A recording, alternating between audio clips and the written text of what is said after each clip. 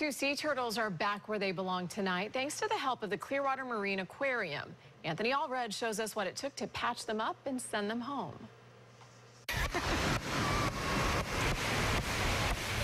It was a good day for a construction project on Clearwater Beach. All this for our two great turtles. These are federally protected species. Most of them are endangered or threatened, and that means there aren't as many of them out in the wild as there should be. I tried to hustle down here as fast as I could to watch the turtles, but I missed them. Joanne Hutman and eight members of her family all have a turtle tattoo. It was her daughter's favorite animal.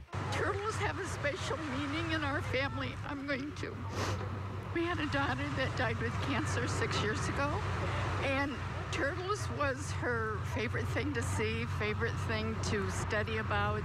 And for some folks, witnessing the release of the turtles makes this the best vacation ever. It's the way it should be. I mean, there's more to the world than just going to Disneyland. This is the real Disneyland, seeing all of the nature and the things that people do and have a real adventure. To rescue, rehab, and release one of these turtles, it cost the Clearwater Marine Aquarium $300 a day.